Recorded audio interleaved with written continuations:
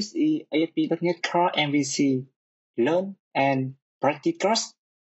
Today in this lesson, I will guide you how to work with the ASP.NET Core MVC to perform the create, read, update, and delete action with the Entity Framework Core. Let's get started. And in the previous lesson, we already used the command line to generate the database context to connect our project solution with database.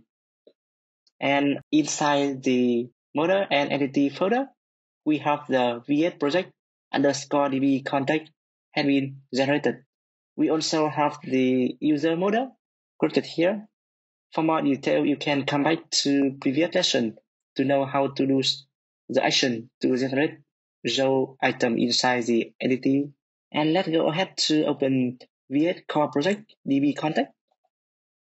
You scroll it down to see the detail of the content inside the DB context file. So now let me go ahead to do some the delete or comment out the code for the on configuration method here because in this method it contains some the sensitive information for the username and password to connect the database yeah. And based on the suggestion we should delete this one. And then because for now we have not delete the this function to provide the username and password to make a connection between the uh, project with database so we need to create other key and value inside the app service in JSON file. Let me create a new one here. It will be the connection string.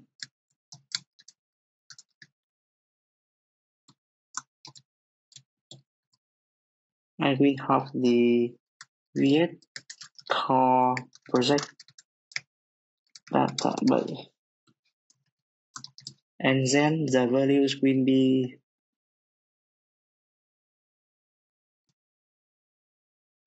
and we have a key VS core project database and the values is this one. And so now go to the startup file. In the startup class here scroll it down to the configure services method Inside this method, I will do some registration to call the service in the runtime to get the connection string from the app service service.json file. Let's go ahead to declare a variable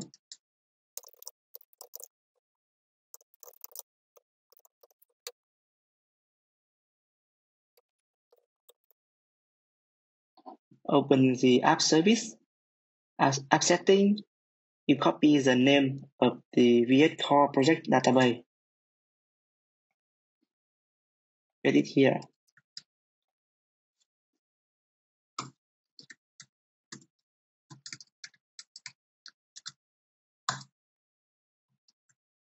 It will be the name of VS project DB context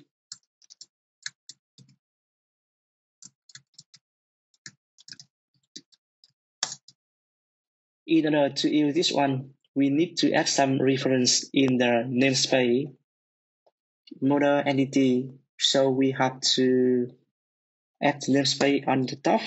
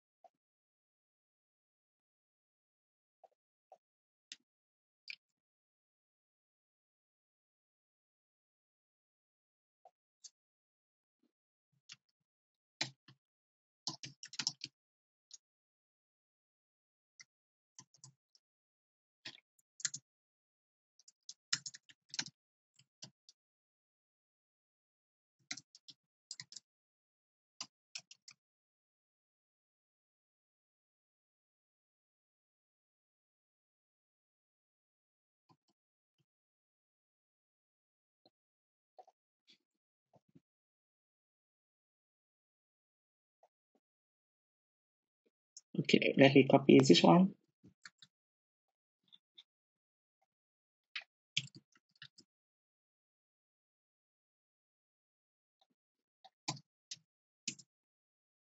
And then provide the name. It should be the connection string.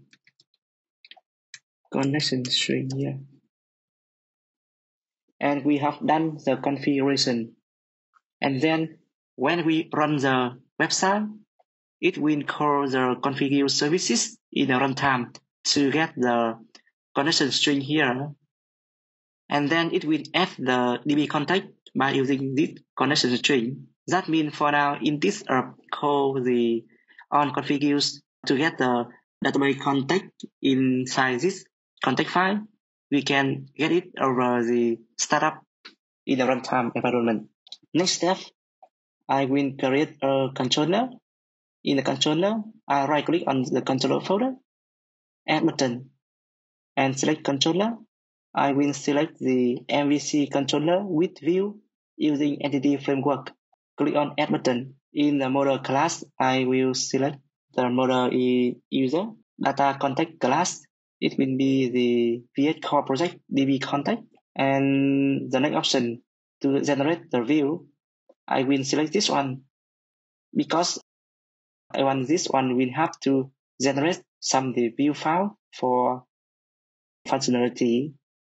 I will, I will also want to use the default layout of our project and click on add button. It will take the time for the Visual Studio to generate some the necessary file. So the user controller has been generated. You take a look into this graph. We have user control will be inherited from controller. And there are some the methods in the action result. In that detail, create a new edit, edit with both action to update the content. And the next one is delete to delete a new record in the database. Delete confirmation. Uh, when we delete any records in the database, so this will call this action. If we select yes, it will perform the action to delete the records out of the database. And so now I will open the view folder.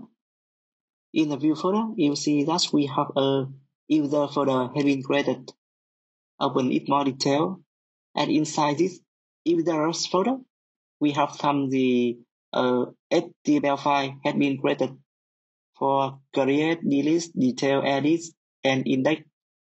The view here will be using to display the content for each action inside the user controller. So now let me open the layout. Inside the layout, I want to create a new item on the menu. Let me duplicate some the menu here. Controller, it should be the um, user action index.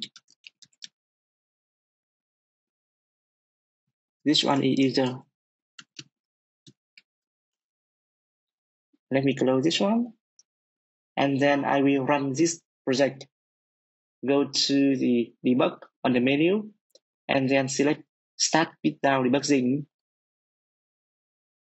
On the menu, you see we have a users have been added in and then it will direct you to the user management page. You see here, it will load to record from database. On the top, we have a create news hyperlink. Let's go ahead to click on this one.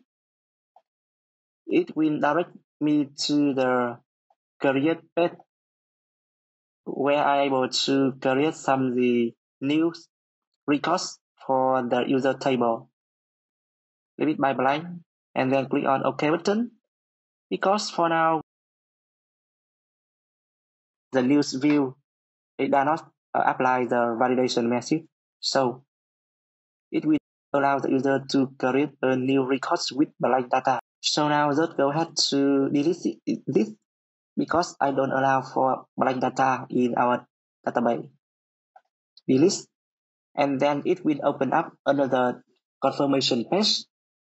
It says that are you sure you want to delete this one? And go ahead to click on edit button to perform the action. So now let me create a new user, enter the name, and then click on create button. So you see here, has been created, updated. Click on uh, detail to view more detail. Back to list, it will back to the list of the user and click edit button.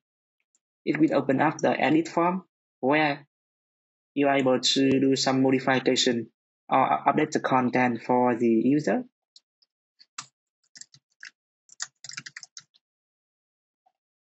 Click on save button.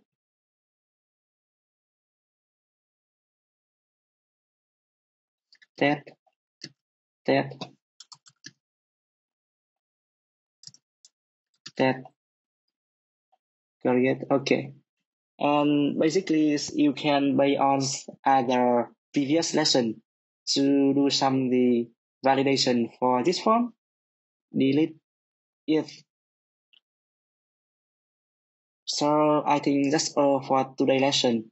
After you finish lesson, you know how to perform the create, read, update, and delete operation by using the uh, entity framework core in the ASP.NET Core MVC. I hope this video will helpful for you. Thank you for watching. Bye bye.